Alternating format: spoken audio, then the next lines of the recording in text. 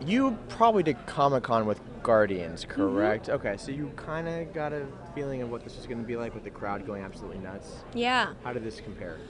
Uh, I, I can't really compare it because it's I don't know it's such different moments in my life too you know as an actress and you know for Guardians two I, I had just shot the movie but uh, no one knew about my You were character. So it's unknown, kind of yeah. like hey it's me but nobody knows me.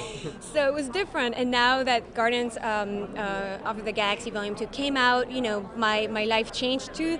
And um, and I mean to be in this this movie with such incredible actors and characters that I used to watch uh, as an audience. You know, to be a part of it, it's really it's really crazy.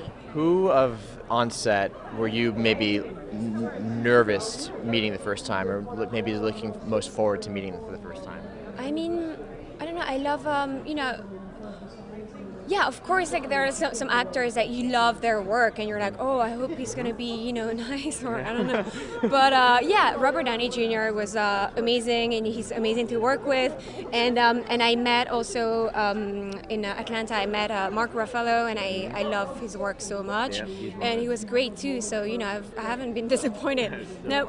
Um, how is it balancing all those egos on set then with all you? Uh, It's uh, it's funny. It brings uh, no because it's uh, they, they play with that too with uh, with the characters uh, themselves, you know.